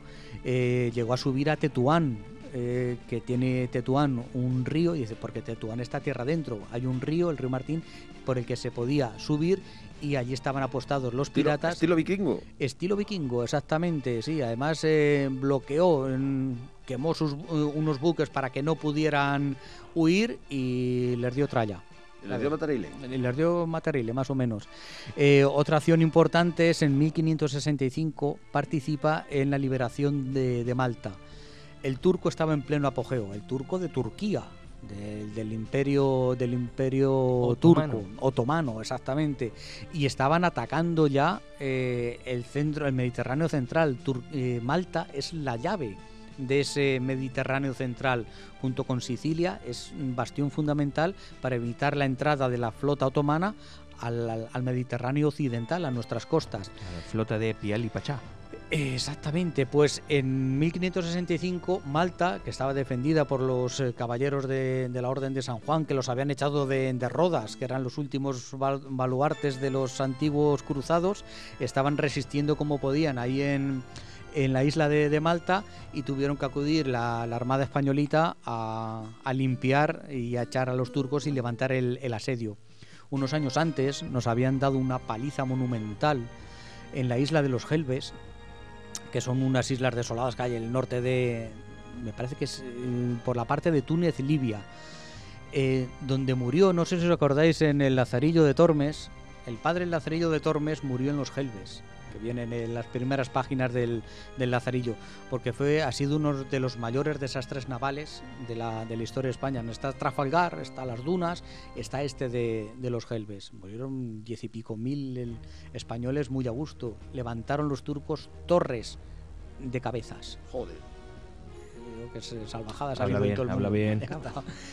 Eh, pues eh, este don Álvaro de Bazán persiguió al turco, al almirante turco que nos derrotó en los Gelbes y hasta que no, no le dio caza no paró. Y así una tras otra. eh, liberó el peñón de Vélez de, de la Gomera en 1564. Eso, en 1566 subió por el río Martín detrás de los piratas berberiscos dándoles cera. En 1568 ya fue nombrado capitán general de las galeras de, de Nápoles. En 1571, Lepanto. Vamos a por ello. La gran batalla de, de Lepanto, la más grande ocasión que vieron los siglos, que dijo Miguel de Cervantes. Y eso que él no figura como, eh, gra- como el director de, de orquesta de, de Lepanto, es de don Juan de Austria. Pero don Juan de Austria, hijo bastardo de, de Carlos V, muy listo, joven apuesto, arrojado, todo lo que tú quieras, pero un joven sin experiencia. Quien realmente estaba detrás era don Álvaro de Bazán. Que en la distribución de las escuadras estaba la escuadra española, en el centro, los venecianos a un lado, la Santa Liga, los de. Bueno, todos éramos la Santa Liga, pero estaban las- la armada de- del Papa, los venecianos y, y nosotros. Y don Álvaro de Bazán quedó en la retaguardia. Dice, bueno, pues tampoco jugó un papel tan importante. Pues fue crucial, porque era el que tapaba las roturas del frente que pudiera haber ante mm, los turcos que nos superaban en, en número, e intentaban rodear la, la flota cristiana. Eh, don Álvaro de Bazán iba tapando ¿eh? los agujeros. Sí, y teníamos Aquí que ir fue- con más gente, ¿eh? Y fue una cosa, sobre todo estrategia. Es decir, eh, eh, Bazán lo que hace es mandar a 10 galeras porque para, para hacerle una pinza a los turcos por el, Ah. por el flanco izquierdo. Y, y tratando de tapar agujeros por, por todos los lados, porque los turcos es que eran muchos más que, que nosotros, hasta que al final se va, se va imponiendo la, la fuerza cristiana. No vamos a hablar de decir eh, flota española, no, hay que hablar con, con razón y meter también a los venecianos, también La- a la gente del la Papa, Santa Liga. Génova, la Santa Liga, exactamente, que se unieron solamente para esa batalla. Luego se, se deshizo el tema. Eh, pero realmente quien estaba detrás era don, don Álvaro de, de De Bazán. La otra gran mm, hazaña de este, de este hombre fue que años después eh, ya nos, eh, bueno, pues por tema de que muere el rey de Portugal, Sebastián I, muere en la batalla de Alcázar-Quibir eh, en un follón que se metió él solito, que no le llamó nadie, se metió con sus portugueses en, en el norte de Marruecos, Un en, soñador. en unas guerras internas exactamente, y Un se Quijote. metió un poquito, un Quijote, se metió donde no le llamaban, en un avispero, y le acabaron derrotando en una batalla y le, y le mataron. Entonces quedó vacante el trono de Portugal, lo reclamó eh, Felipe II, porque por línea sanguínea le, tocaba. Eh, había un pretendiente portugués que, también lo, reclamaba. Este pretendiente pues tenía el apoyo, naturalmente, de Inglaterra, de, Francia. Y eh, que dijo Felipe II, ¿dónde está don, mi don Álvaro? Venga usted para acá y tire para allá con, con nuestras galeras. Venga mi duque de Alba, vengan acá mis tercios y vámonos para Lisboa. Y entre uno por tierra y otro por mar, eh, aquí se acabó el problema. Y Portugal pasó a engrosar parte de los reinos de, de Felipe II. 1581 entra Felipe II triunfante. Tal cual, Lisboa. más o menos. eh, fue un, un auténtico paseo militar. Hubo sus batallitas, pero fue un paseo militar. Eh, quedaban solamente unas islas, dentro de las Islas Azores, que están en medio del Atlántico, bajo soberanía portuguesa, que se negaron a reconocer a Felipe II. La importancia vital de las Islas Azores es que desde ese punto, si pasaban a control inglés o francés, eh, el problema que tenían las flotas españolas de Indias, tanto de camino de ida como de vuelta, es que eh, nos, las, podían liquidar, nos podían cortar las comunicaciones con, América. Entonces no había más narices que enviar la flota a tomar las Islas Azores. Los franceses también enviaron su flota, por supuesto, era una oportunidad de oro. Los primeros piratas fueron los franceses, no los ingleses. Fueron los, eh, una expedición que, que salió eh, muy potente, muy bien formada, pero nuestro Álvaro de Bazán eh, los, acabó, los acabó derrotando. La batalla de la isla de Terceira es, es famosa en tema, en tema naval y se acabó imponiendo don Álvaro de, de Bazán. Volvió a Portugal y se puso con los preparativos de la invasión de Inglaterra. Él mismo la recomendó y empezó a, preparar esa mal llamada Armada Invencible, sino que se llamó la Grande y Felicísima Armada. Eh, ¿Qué pasa? Eh, bueno, pues los daños colaterales de juntar miles de personas, porque la, la orden de eh, donde estaban preparando todo era en Lisboa. Eh, meter mucha gente en un sitio insalubre pues provoca epidemias. Pues Enfermedad. don Álvaro de Bazán murió en- de una epidemia de tifus De coronavirus. ¿no? de coronavirus de la época, exactamente, el 9 de febrero de, de 1588. Y, y ahí cambió el rumbo de, de la historia. Si él hubiese Eh. seguido eh, dirigiendo eh, la Armada Española, pues quién sabe si los ingleses hablarían hoy español. Nos vamos a No quedar lo ahí. sabemos, nos vamos No- a no quedar vamos ahí. a quedar ahí. No vamos a hacer futuro historia, pero, pero sí, lo vamos a, a dejar ahí. Eh, solamente decir también que don Álvaro eh, tuvo una gran aportación al, al tema naval, eh, creando, a ver, los tercios del mar. Los tercios del mar era la infantería embarcada en buques. La Armada Española fue la primera. Infantería de Marina. Nuestra infantería de marina es la primera, la más antigua del mundo. Y es. A los- dura- ves, ves a los marines americanos y dices, mira qué guapos, que Mira qué guapos. los españoles, Pues somos en 1500 y pico, eh, Álvaro de Bazán inventó meter mm, tropas, eh, los tercios, meter soldados de infantería dentro de los buques y ser los encargados de asaltar y tomar eso al asalto el buque contrario. Eso nos permitió durante 200 años ser los dueños de, de los mares con esa táctica eh, que- obligaba a los barcos a diseñarlos de... mm, si te has fijado, los, los barcos se llaman castillo de proa, castillo de popa, igual que, las, igual que los castillos terrestres. Entonces, los galeones españoles eran altos, fuertes, a lo mejor menos marineros, menos rápidos, menos maniobrables, pero eran altos, fuertes y potentes que en un choque, en un asalto, tenían todas las de ganar frente a un buque más pequeño. Estás disparando desde, Desde lo des- alto, Desde lo alto, exactamente. Entonces, dominando el terreno. tenía una- la, la táctica del, del abordaje, fue la que mantuvo la Marina Española, pues eso, durante ciento y pico de años, eh, permitió controlar los mares, permitió controlar las rutas hacia Flandes y hacia, y hacia las Américas.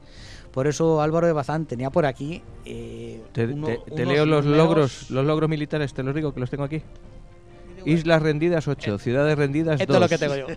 Villas rendidas 25, castillos y fuertes tomados 36, capitanes generales derrotados 8, Impresionante. maestres de campo derrotados 2, señores y caballeros principales 60, soldados y marinos franceses rendidos 4.759, soldados y marinos ingleses rendidos 780, soldados y marinos portugueses 6.243 y así gal- galeras va, va, va. capturadas 44, goletas 21, galeones 99, Un machote, un machote como Dios Sí, sí, sí, manda. un ¿Qué de capitán. películas nos salen una de, Ah, de nuestra Mira, armada. Lope de Vega, cuando murió, eh, le dedicó unos versos que son la, lo definen perfectamente. Mira, el fiero turco en Lepanto, en la tercera el francés y en todo el mar el inglés tuvieron de verme espanto.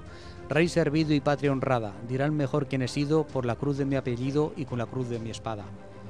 Yo creo que lo, lo define perfectamente Hay la epitafios figura. también de Góngora, de Cervantes, son- de en el Quijote. de- Sí, sí, sí. Es un personaje de su época que poco a poco lo hemos ido olvidando. Si es verdad que la Armada ha mantenido su, su memoria y siguen poniendo nombres de barcos a su... Sí, pero Oye, bueno, ya y- estamos sí. aquí para nosotros también. Y no dar es de a los conocer. más desconocidos. eh, vamos, Escucha, vamos a tirar un poquito de patria. Y, y es Marque de Santa Cruz. Que no de la zarza, pero de pero Santa Cruz. casi, pero De casi. Exactamente, pero casi. Pues este es un personaje que bien merece la pena asomarse a alguna biografía o simplemente asomarse un poquito a, A la Wikipedia. A la Wikipedia mismamente, exactamente, para decir, Leñé, la que comentabas, eh, Gerardo, qué montón de películas salen de aquí. Mm. Vamos, que para, coño, decir, eso, un buen tipo y un auténtico genio de la guerra. por el mismo clero que la sangre corra protegiendo el Nos hemos extendido bastante hoy. Vamos bien. Buah, Vamos. bien. El pincha va a tener To- que- todos los programas le nombran, bueno. todos los programas le nombran Nos al pobre. retira el saludo. Pero yo no me niego a poner la sección canciones con historia. No, ¿Qué no debes nos vas a negarte. poner? Eh, te- te- vamos a ver, te tengo primero un grupo que ha grabado una canción de Santa Cruz de la Zarza. Empezamos por ahí. Y no es la rondalla. No, es- son las seguidillas de Santa Cruz de la Zarza. Ah. Están Ah, grabadas vale. por este grupo, por lo tanto ya merece nuestro respeto. Sí. empezando por ahí. Y segundo, hablan de una mujer que también merece su respeto, una granadina, Ajá. hija de Manuel, Manuel, me parece que se llamaba su padre, no me acuerdo ahora mismo, de Mariano, eh, Mariano de Pineda. Hombre, ¿Sabéis quién es? sí. Pues esa mujer, el nuevo mestre de juglaría, Mariana de Pineda, le hizo Ah. esta cancioncilla. Anda, mira.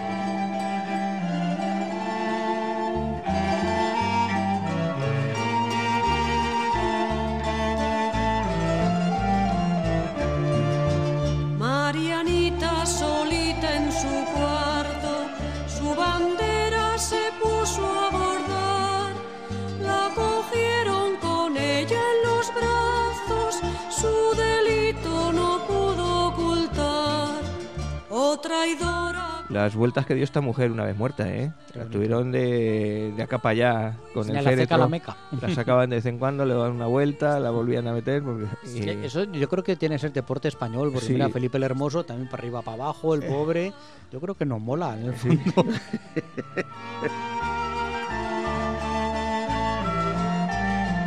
Pues si queréis vamos aprovechando para dos cosas. Eh, la segunda, despedirnos. Y la primera, darle las gracias a nuestro querido invitado, Claro que sí. Valero, y que nos cuente en 30 segundos o dos horas por qué hay que ir a Castillo de García Muñoz. Pues lo primero porque pilla de paso para la playa. No. Punto uno. Eso, el eso es fundamental. El segundo, porque somos un pueblo abierto. eh, si te gusta la historia, no es el punto central de la historia de España.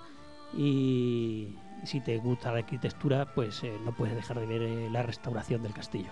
Que Es muy, muy, muy controvertida y muy, muy llamativa. llamativa. Original. Hay que ir por el día y, y también por la noche, según nos han contado. Por la noche, la verdad, es más llamativa, se encienden las luces, em, eh, son de colores, una fortaleza de colorines, eh, y se hacen, la verdad es que para ser un pueblo, es un, no los oyentes no lo saben, pero es un pueblo de 100 habitantes, eh, tiene un- una historia, o sea, una- organiza unos actos culturales impresionantes. Durante todo el verano, pues cada fin de semana se hacen en la fortaleza conciertos de música, de toda clase de música. Hay que ir, pero sí o sí. Sí. Eh, nosotros tres, Hombre, sí. fijos. Hombre, a menear, a menear la melena. Ujú. Escucha, no nos llames para lo del tram ese, no nos llames. Trap, trap. El trap, el trap. trap. No ha llegado aún. No ha llegado aún. ha llegado aún, no ha Vale, llegado. Pues hay guitarra, guitarra ahí eléctrica bien. Nos Sí. falta, si te gusta la música y eres músico, pues un concierto de rock tampoco ha ido. Ha- ¿No? Ha, ha ido rock celta, rock celta sí, pero rock duro, no. no. Bueno, el rock celta vale. Yo tengo que hablar con mi amigo Loriente, que te digo yo que tenemos aquí una cantera algo. de músicos en este pueblo. Santa Cruz es un pueblo con bueno. mucha tradición musical, ya lo hemos, lo, lo hemos comentado hoy sí. fuera de micrófono. Y sí, sí, Bueno. es un atractivo para un santacrucero ir a ver o a ir a un concierto de cualquier tipo de música. Aquí eh, a todos nos gusta, pues como has visto en nuestro programa. Eh, Igualmente, si hay algún músico interesado en actuar, pues que se ponga en contacto conmigo. Yo lo pongo en contacto directamente con el ayuntamiento, Y hacemos con los un- gestores de la fortaleza, del castillo, y organizamos rápido un concierto. Aquí Y tenemos- Ponemos unos autobuses desde Santa Cruz. tenemos grupos aquí de todo tipo. Hay grupos de jazz, hay grupos Menos trap. de folclore, hay, Menos trap, Trap porque no quiere Pacheco, porque todos los Pachecos. pues nada, lo dicho, Gerardo, agradecidísimos. Es Agradecido estoy yo. La verdad esperando que... te animes para venir otra vez. Me ha encantado haber tenido, claro está, los fallos del principiante, Nada, pero fallo me, ninguno. ha, me ha encantado. La verdad, ha Cuando uno sabe de lo que habla, no hay fallos. eh. Nosotros es. estábamos aquí, mira, está esto lleno de, abierta. lleno de babas, lo tiene Joaquín. Así que bueno, eh, le damos las gracias al pincha por estar hasta, hasta, Hasta estas estas horas, horas. escuchándonos. Y decir que la que- semana que, que viene, hablamos la semana que viene, yo hombre. retomaré re- la Perla Negra Sí. retomará su, su programa habitual. Qué a gusto y está este hablaremos, programa. habla- está muy a Más gusto. ancho que largo. Hablaremos del último zar de, de Rusia, Ajá. que se llamaba Nicolás Nicolás II. II. Toca yo mío. Bueno, pues yo os voy a hablar del convento de Trinitario, nuestro convento de Trinitario. Sí, de señor. que tenemos aquí. Os voy a preparar una cosilla. Voy a sorprender, creo que tenemos milagro. Impresionante. Milagro, Milagro a las 3.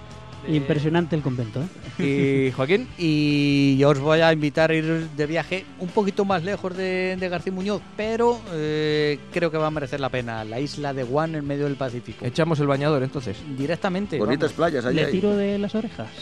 Ahí. Has dicho de García Muñoz. El Ah. castillo, el castillo. Don Gerardo, don Juan, don Joaquín. Don a- Rafael. Hasta Rafael, la próxima Carlos ocasión. Adiós. Hasta otra.